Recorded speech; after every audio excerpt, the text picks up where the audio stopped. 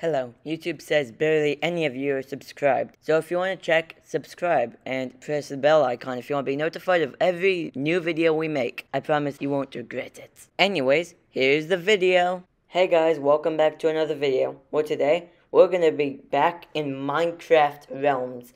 We're gonna do number two this time. This episode is called The Construction. I also got the cat off screen. My brother was fully decked out, and I thought I could be decked out too. So I went looking in his chest, and he did not like that. He kicked me out of his house, so I had to go in the forest and build myself my own house. Next, I tried pulling a funny little prank on Koti. It's called Stick Up. Get it? Because I built up and I was holding sticks on my offhand and my regular hand. He tried to leave me off with a warning, and he accidentally exterminated me, but I let it slip. I also wanted to dye the color of my cat's collars. I thought it'd be adorable, so I just went ahead and did it. I also thought it'd be funny to put pink dye on my brother's sheep. I also put red dye on my brother's other sheep. So the video was taking like an hour, so I had to kind of like cut all of it out.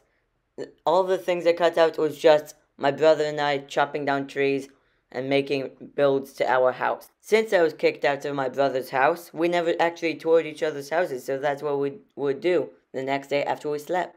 Don't tell anyone, but I forgot my cats at my brother's house. And I also found an obscure reference.